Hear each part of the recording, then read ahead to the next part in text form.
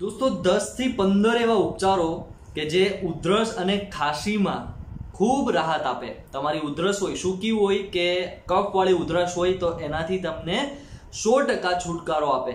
એમાં સૌથી પહેલો પ્રયોગ, કાંદાના રસમાં મધ મેળવીને પીવાથી ગમે તેવી ઉધરસ મટી જાય. કાંદાનો ઉકાળો પીવાથી પણ કફ દૂર થઈ ઉધરસ મટે છે. ત્રીજો પ્રયોગ, લીંબુના રસમાં તેનાથી ચાર ગણું મધ મેળવીને ચાટવાથી ઉધરસ મટે છે. લીંબુનો રસ એટલે અડધો તમે અડધા લીંબુનો રસ લીધો છે તો આટલું તમે મધ લઈ લો અને એ બંને વસ્તુ પી જાઓ તો તમારી ઉધરસ મટી જાય. ચોથો ચોથો પ્રયોગ, લવિંગને મોંમાં રાખી ચૂસવાથી પણ ઉધરસ મટે છે, કારણ કે લવિંગની અંદર રહેલો જે રસ આપણા છાતીમાં ઉતરે, કફ તૂટે છે, એટલે ઉધરસ મટે છે. પાંચમો પ્રયોગ, મરીનું ચૂર્ણ દૂધમાં ઉકાળીને પીવાથી ઉધરસ મટે છે. મરીનું ચૂર્ણ, સાકર, ઘી સાથે મેળવીને ચાટવાથી પણ ઉધરસ મટી જાય. એક ચમચી જેટલું મધ, બે ચમચી આદુનો રસ આ બંને વસ્તુને પીવાથી ઉધરસ મટી જાય છે. લસણની કળીઓને કચરી, લસણની જે કળીઓ હોય એને કચરી લેવાની પોટલી બનાવી તેને તેની જે સુગંધ છે જે વાસ છે એ લેવાથી કાળી ઉધરસ હોય ને, કાળી ઉધરસ ઘણાને થઈ જતી હોય એ સમજી જતા હશે, એ મટી જાય. એક ચમચી મધ અને બે ચમચી આદુનો રસ મેળવીને પીવાથી ઉધરસ મટે.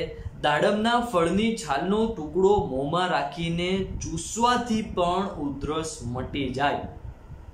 લસણના વીસથી પચીસ ટીપા રસ લેવાનો છે.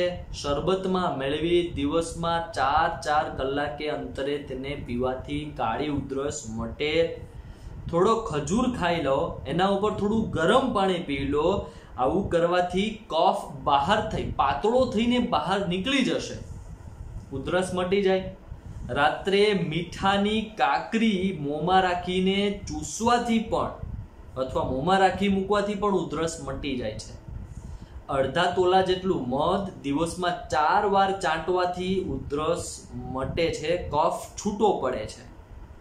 હળદર અને સૂંઠ સવાર સાંજ મધમાં ચાટવાથી પણ ઉધરસ મટે છે મીઠું અને હળદર વાળો શેકેલો અજમો જમ્યા પછી મુખવાસ તરીકે લેવામાં આવે તો પણ ઉધરસ મટે છે હળદર અને મીઠાવાળા તાજા શેકેલા ચણા એક મુઠ્ઠી જેટલા સવારે તથા સૂતી વખતે રાત્રે ખાવાથી ઉપર પાણી નથી પીવાનું, ખાલી ખાઈ લેવાના છે.